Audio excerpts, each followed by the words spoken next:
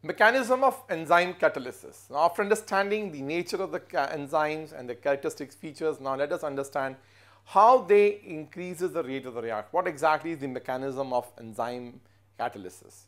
See enzyme catalysis is based on a very simple theory which is called lock and key theory. Now these enzymes are having many active sites on their surfaces.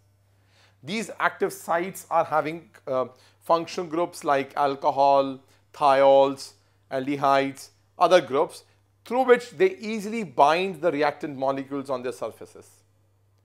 Now reactant molecules only are those reactant molecules which are having complementary shapes like this one. Let's take this as an enzyme we are having. This is its active site is and this is the substrate or the uh, this is the enzyme we have E and this is the S substrate or the reactant which is to be absorbed here. Since its shape is complementary to the size of the cavity which is obtained, uh, present here on the enzyme surface, what happens is the moment they comes closer to each other, what happens is they both gets this substrate gets absorbed on it on the enzyme surface.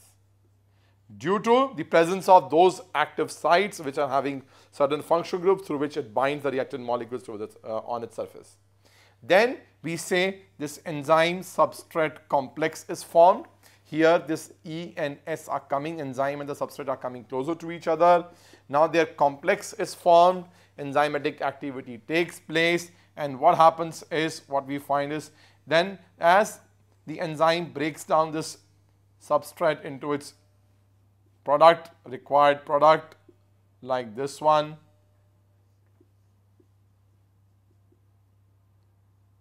You can see now the substrate is being broken down into two pieces. Then what we get after this is that the enzyme, the substrate leaves the surface of the enzyme for further adsorption and this is how this surface, this substrate or the reactant gets broken down into two pieces. So this is what is the me basic mechanism of the enzyme catalysis is that the substrate enzyme complex is formed then the substrate is actually changed into the product and then it comes out like this further exposing the enzymes active sites for further adsorption of the reactant molecules. So, it basically is very similar to lock and key theory because then the key uh, uh, is, is only being used for the E has a specific shape which can only be used can be fit into those uh, uh, into their only their, their locks only. So, that is why the reactant molecules which are having complementary shapes can fit into those active sites and this is how the catalysis is done.